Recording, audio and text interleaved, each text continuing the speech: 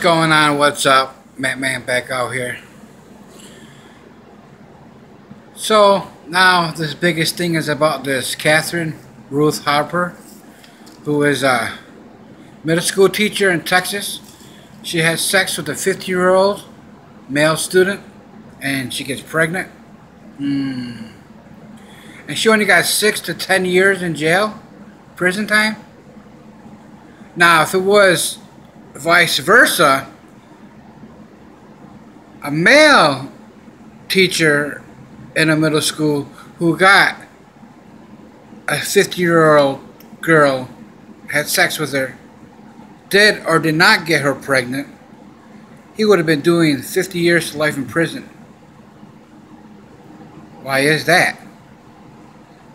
I mean, it raises eyebrows to everything and raises questions. Why do females have to get off so easy when a man has to do hard time? I mean, something to think about. Now, if it was an African American woman that had sex with a middle school 50 year old man, boy, child, she would probably got 35 years in jail, besides being pregnant. Right? But you know for a fact now, if it would have been a black male middle school teacher who got a 15 year old girl pregnant, he would have done life in prison. See, what does Donald Trump make America great again? It's a bunch of bullshit. It's literally Donald Trump make America white again, which it was never white in the first place because my ancestors, who are Native Americans, the indigenous people were here first. But you think about it. I mean, it doesn't take a rocket scientist to figure this out.